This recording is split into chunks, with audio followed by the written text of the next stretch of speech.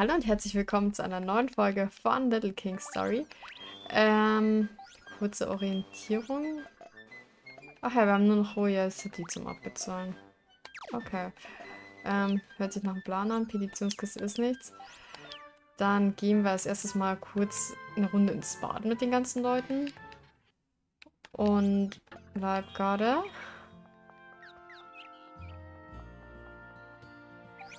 Aufbruch.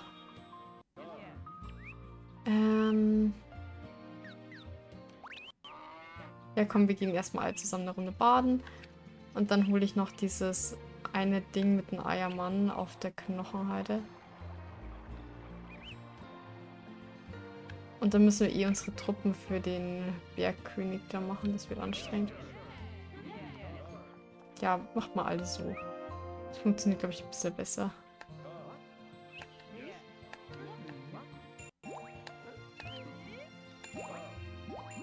Okay. Kommt mal alle her, Offensive. Alle schön rein ins Bad. Ich bin nicht der Einzige, der wirklich da reinsteigen sollte. Dann können wir auch gleich noch hintergehen zu Mr. Bildersammler.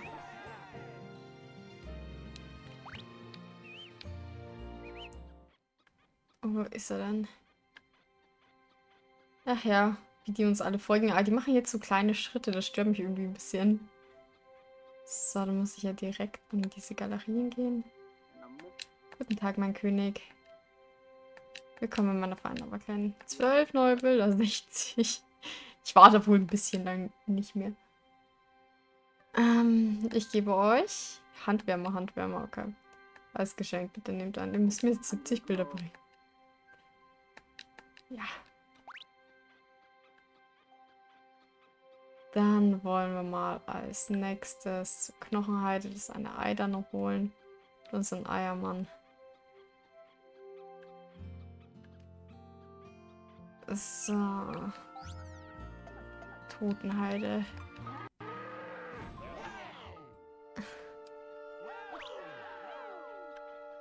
Kommt einfach alle mit. Davon liegt nur ein Ei, was wir uns jetzt holen. Ach, davon ist noch ein Loch. Ich weiß nicht, warum der Händler nicht mitkommt, aber manchmal ist es besser, nicht mitzukommen und nicht zu sterben. Wollte ich nur mal erwähnen. Oh, kommt, Leute. Andauernd diese Hühner da.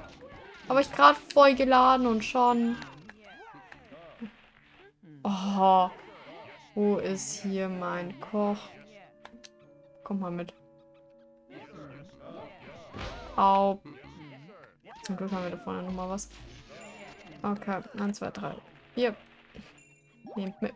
Einen Schatz haben wir einfach mal ausgebuddelt. Okay, das bringt Kohle. Ähm, dann machen wir jetzt das da weg.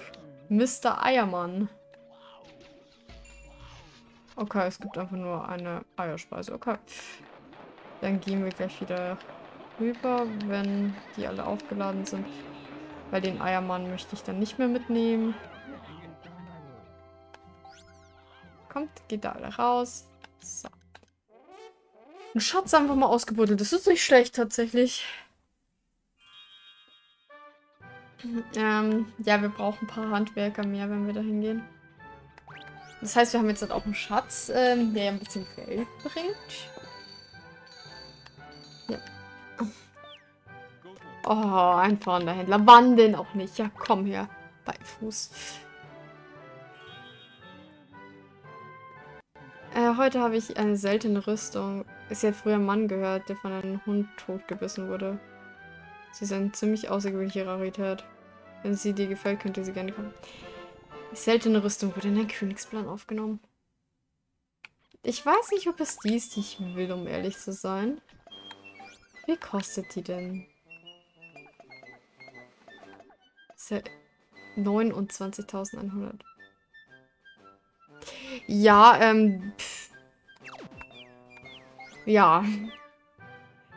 Ähm, dann speichern wir nochmal bei Werde. Dann nehme ich mir gleich... Warte, ganz oben. Ja. Ja.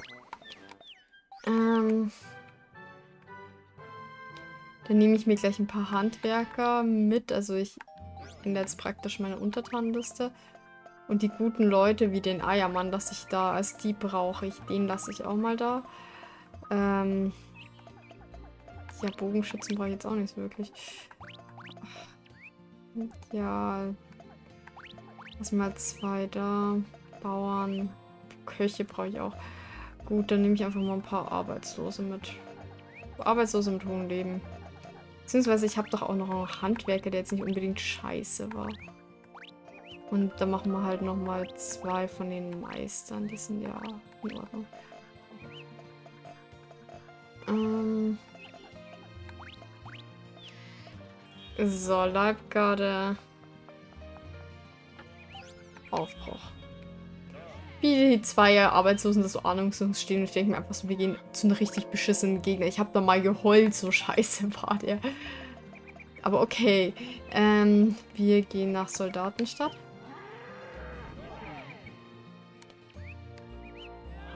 Okay, dann brauche ich mal ganz kurz die Arbeitslosen zuerst.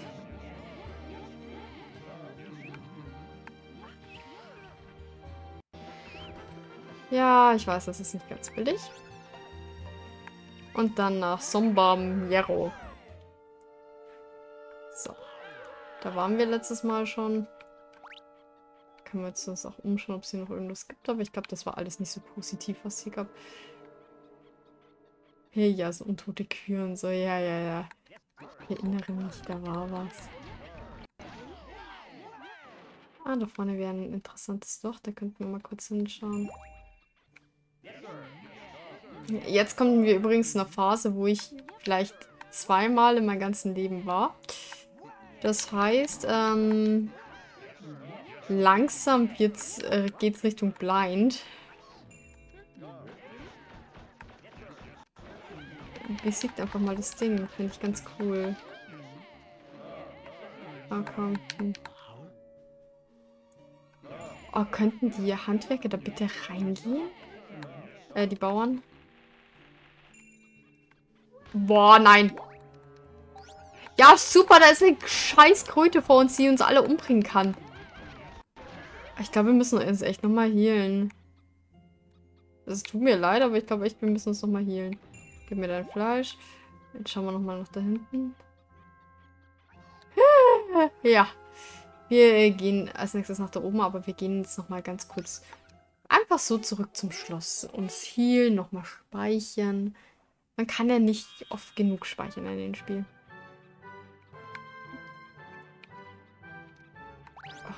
Übrigens, ich werde das nicht ohne Tote schaffen. Hey, guten Abend, wie war es Essen? Mega gut, ich erzähle euch, was ich alles zum Essen hatte.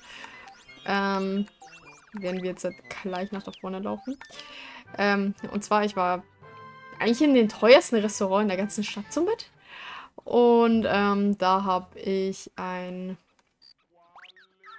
Also erst dachte ich mir, ich hole mir so Potato Veggies nur, weil ich nicht so viel essen wollte. Ich will zurzeit immer nicht so viel essen. Ähm, und halt ein Sprite, auch wenn ich normalerweise keinen Zucker trinke und so. Ich denke mir so, immer wenn ich mit Leuten unterwegs bin, mir ein Wasser zu bestellen, das kommt immer so ein bisschen spießerhaft drüber. So habe ich mir ein leckeres Sprite bestellt. Ähm, das schmeckt auch sehr intensiv wieder, seit ich das nicht mehr jeden Tag saufe. Okay, das Ding geht richtig runter. Warte mal, ich möchte mich da auch mal kurz mit reinhocken. Nicht, dass dann am Ende kein gutes Wasser mehr für mich da ist. Ähm. Und dann darf auch noch der Rest rein. Der Rest müsste dann voll sein. Ja, das war was hast du hier aufgebracht. Gut, dann gehen wir jetzt zum Sombrero. Ähm, die Potato Veggies waren mega geil. Vom Preis her war gerade noch so angebracht. Ich glaube 95 oder so. Also ja. Ach, da gab es ein Bad. Okay. Ja, komm, gehen wir eine Runde klettern, würde ich mal sagen. Können wir da lesen, was da steht? Okay, nein, können wir nicht, weil wir dazu, glaube ich, einen neuen Beruf brauchen. Steht da. Pancho.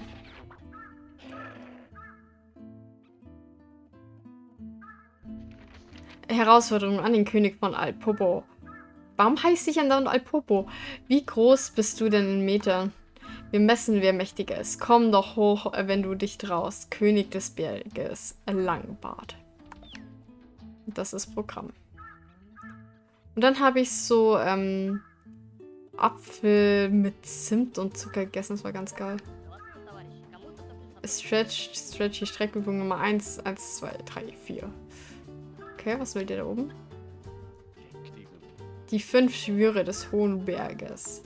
Okay, die scheinen hier sehr sportlich zu sein. Erstens, hoch ist gut, gut ist hoch. Einen langen Hals machen. Okay, keine Ahnung, was das soll. Ähm, dann reden wir mal mit denen hier. Oh, ich habe die Anladung daneben vergessen. Willkommen auf dem Berg. Hier ist der Eingang für Wanderungen auf den Sombamanjaro. Hä? Das ist aber ein ziemlich kleiner Gasthaar. Solltet erstmal noch ein wenig wachsen, ha? Hä? Seid ihr vielleicht gekommen, um den Berg anzugreifen? Nein. Ich möchte jetzt die Einladung lesen.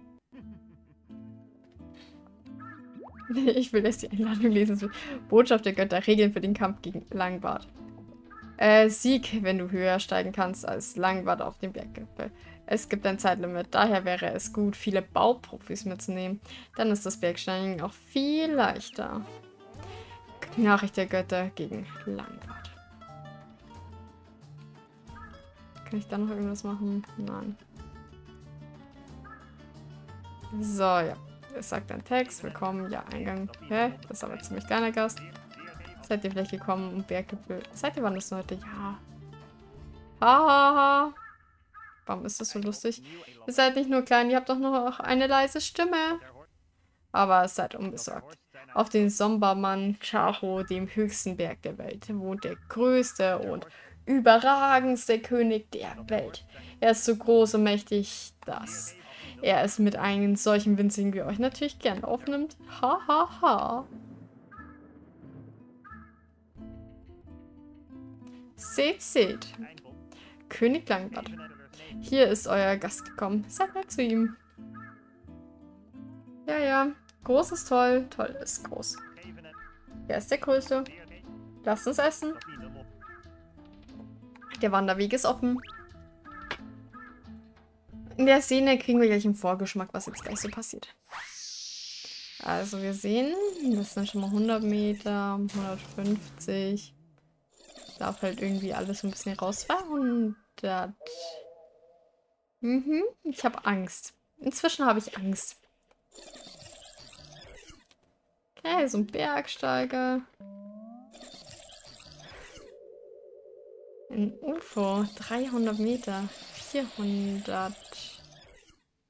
487. Also ich denke 500 Meter werden es dann letztendlich sein. Wow, der benutzt sein Bart als Arm.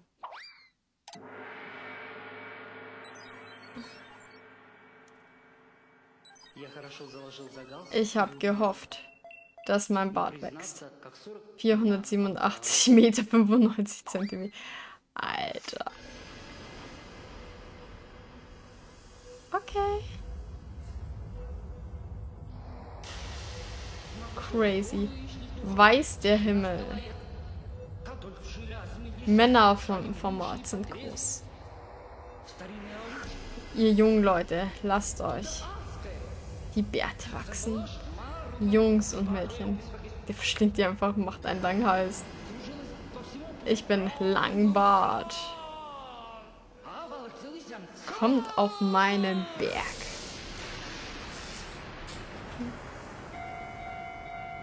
Äh...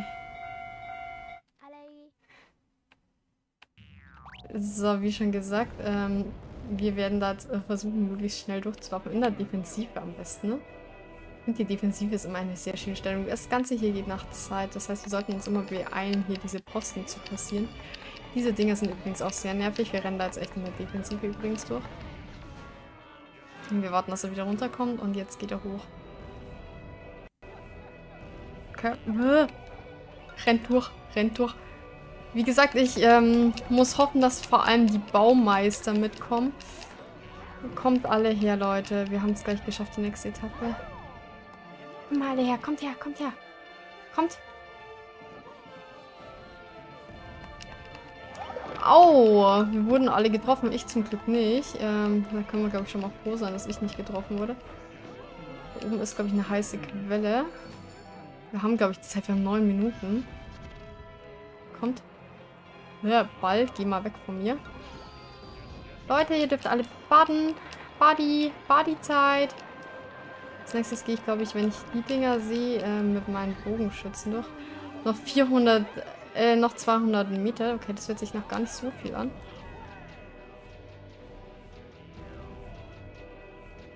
Also ich wäre froh, wenn wir die wegschießen könnten, wie gesagt.